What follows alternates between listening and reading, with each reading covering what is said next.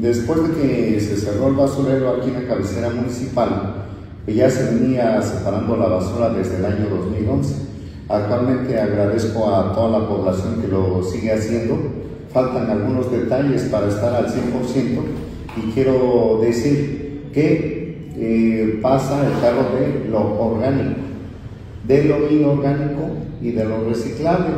Entonces con lo orgánico se hace composta, con lo inorgánico se separa para que esté libre de materia orgánica, de vidrio, de metales, de madera y PVC. Esto se va a una prensa, hacemos pacas de 320 kilos y tenemos un convenio con la cementera Cruz Azul, a donde se va este, todo esto ya debidamente empacado y todo lo demás que es reciclable, cartón, PET, tetrapac, todo tipo de plásticos, los reciclamos y los ponemos a la venta con empresas que vienen directamente a nuestro centro de, de acopio. Entonces estamos avanzando al respecto y pues agradecerle a la gente que colabora con nosotros en la separación de todo este tipo de material. Eh, quiero decirte que después del cierre del basurero se realizaron asambleas también se ha dado capacitación en las escuelas por parte de la Regiduría de Educación, por parte de la Regiduría de Salud y por parte de la Dirección de Ecología. Se han ido a las escuelas para enseñarle a los pequeños la separación, se hacen ejercicios ahí para que a su vez los niños transmitan este conocimiento a los papás. Entonces estamos haciendo toda esta actividad ahí en nuestro centro de acopio que hasta el momento tenemos buenos resultados. Vamos a comprar una prensa que dé oportunidad que haga pacas más grandes. Compramos un montacarga porque cargar 320 kilos no es nada fácil. Entonces ya tenemos un montacarga, lo levanta y lo sube al trailer. Y también de la basura no deseada, también ya la sacamos allá de nuestro centro de acopio. Entonces estamos avanzando. Tuvimos por ahí un incidente un incendio que fue provocado.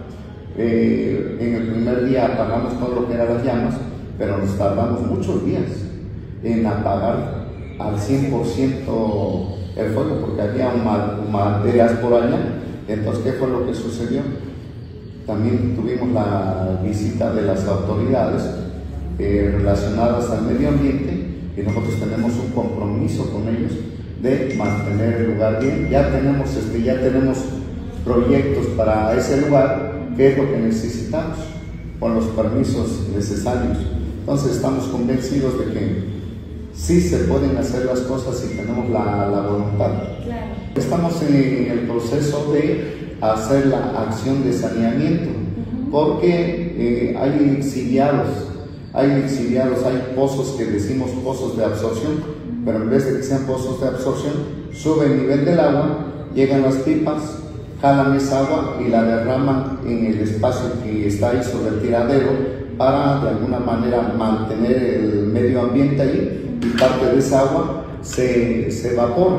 Entonces, ¿qué es lo que va a pasar? Sí se requieren medidas de saneamiento y tenemos pláticas con las autoridades correspondientes porque los exiliados afectan a gran parte de las colonias de la parte oriente, empezando por la colonia Manantial pasa por allá por este, La Gotera, por la colonia del Bosque, por eh, la colonia 4000, pasa por Las Peñas, por Narciso Mendoza Nube y por otras colonias aledañas más hasta llegar al río, que no es lo más correcto.